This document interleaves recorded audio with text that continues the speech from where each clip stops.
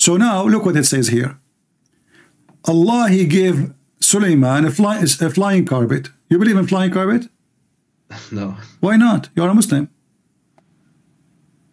Uh, the screen is not uh, refreshed yet. Chapter 34, verse number 12. It says, We subjugated the wind in its morning stride from the sunrise till the midnoon was a month journey and it is afternoon which mean like you know one month to go one month to come back. In one day travel could travel two months between two brackets and we caused a fount of molten brass to flow for him. I don't know what the fount of brass means. it's money. At that time this is the money. Money. Oh, okay. yeah. Okay. People they make money from uh, you know uh, depend in the time. Sometimes they use gold sometimes they use etc so uh, Allah he made for him uh, the money come from the ground. And he subjugated the jinn. All of this to do what? To build a, a palace. Okay. okay. So now Muhammad is going to spread Islam and he is begging people for money. Suleiman is going to build a villa. And Allah Yeah, gave him everything he want even genie But there are two things to it. Like the first thing is, like you said, okay, uh, in that ayat, um, people give the charity, and you say, okay, it goes directly to him, which is not directly what the ayat said. Okay. But I can understand. I wanna ask you, when I Muhammad-. Okay. Uh, when uh, when Muhammad died, how much money Fatima? She we are changing. Uh, we are a bit uh, jumping. No, no, we are not. Because if Muhammad is not taking money to his pocket, then Muhammad should not be able to give cities and towns as gifts, or his daughter she will inherit. For her daughter too. Did To his, did his daughter, yeah, did his daughter, she asked for the whole city, including the slaves, including the, the, the trees, the land, including the people owned by her? I am not familiar with this. Uh, no. Hmm. Okay. Let's see.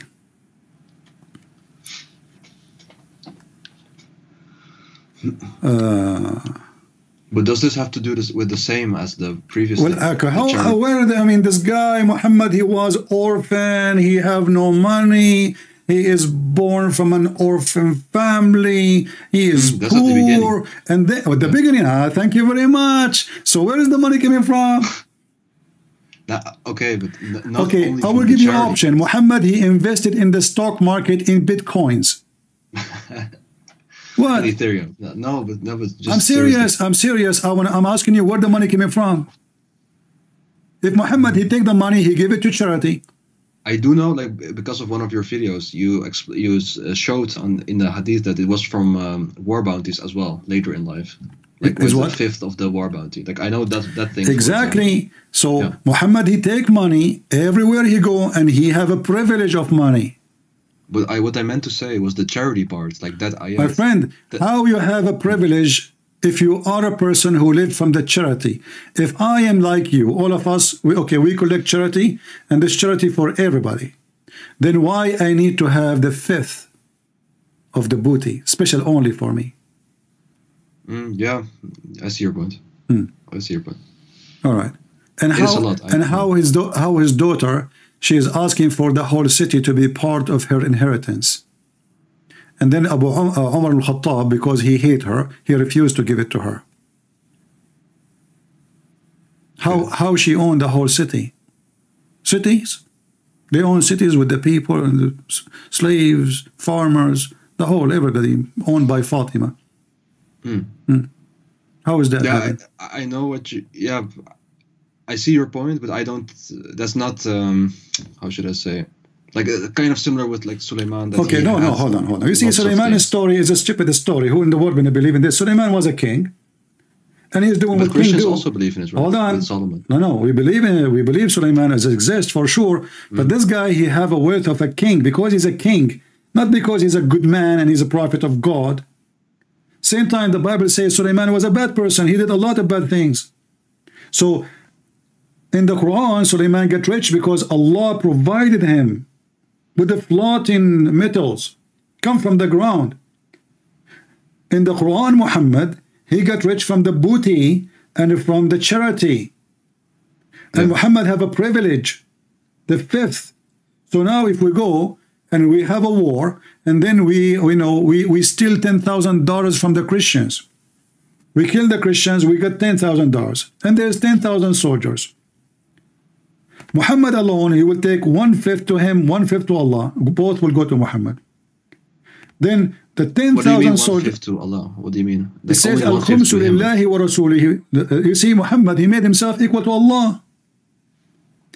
It is the fifth to, to Muhammad and Allah. Is that correct? I I don't see it on the screen. Do you show that? But you you know the, the The hadith. I've seen it, but I didn't know that it was also a fifth for God. I thought it was only a fifth for him. all right. Well, you can you can understand it as you wish. You can say it is only for Muhammad. It, you can say it's a, a fifth to Muhammad, fifth to Allah. If it is fifth to Muhammad, that means Muhammad he made himself Allah. Ah, I, I see what you mean. Uh, yeah, I see what you mean. But yeah, Okay. Okay. Read carefully here. This is a Muslim translation. And you know that whatever of, of war booty you may gain, verily one fifth of it is assigned to Allah and to the messenger. Mm. Do Allah need fifth of the booty? no. The only thing what I could say is that okay. Okay, who is uh, the one will take the fifth of Allah? Then the messenger, indeed. Okay, so now Muhammad, if he take one fifth from ten thousand, how ma- how many dollars that will be?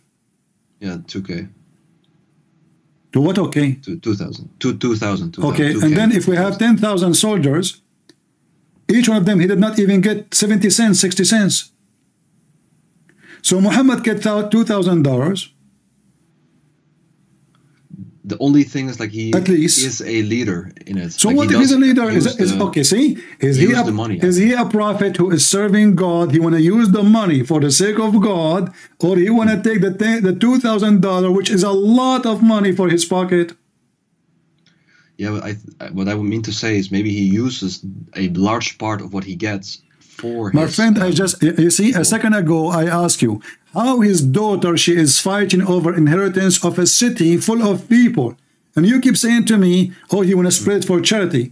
A person who is spread for charity, first, he do not need to take fifth or body because it, the, his people will not let him hungry. Do you think the, the Muslims will let Muhammad hungry? No, Okay, so why he need money? No, I thought just to use If it in I a am good way. if I am a prophet and I have thousands of people willing to die for me, how many of them they will bring me food every day? How many of them they will be happy to serve me? So why Yeah, I need to take the fifth of the booty? Do you know? Do you know that Muhammad he have sixteen privilege? 16 uh i heard a few like for example the amount of wives that he could have at one time No, That's did you did you hear that Muhammad, if his Hmm. eyes fail into a woman, her husband must divorce her.